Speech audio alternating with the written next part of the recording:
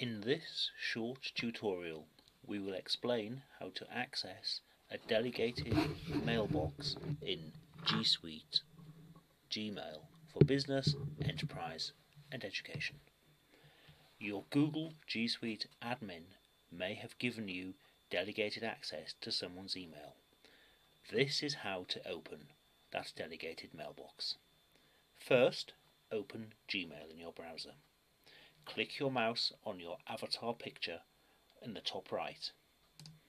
If you have G Suite for Business or G Suite for Education, then under your account you will see a list of the mailboxes that you have access to.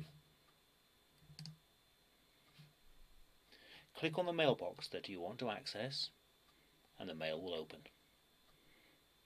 Now, it's possible that the owner of the mailbox may realize you have access. They can see the people who have delegated access in the Gmail settings, and if you reset the read status when you read an email, they may spot that too.